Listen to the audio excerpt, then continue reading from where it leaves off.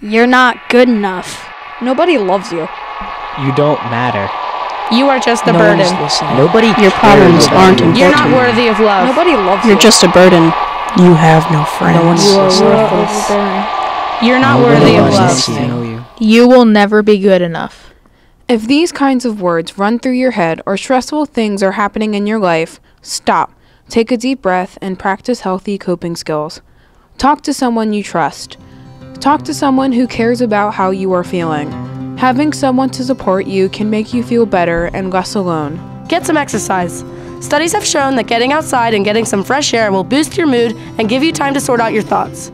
Even a simple walk outdoors will do good for you in the long run. Resorting to things like drugs, alcohol, self harm, and other dangerous and unhealthy activities is not the right thing to do. Remember to keep yourself safe. Stop, take a deep breath, and practice healthy coping skills.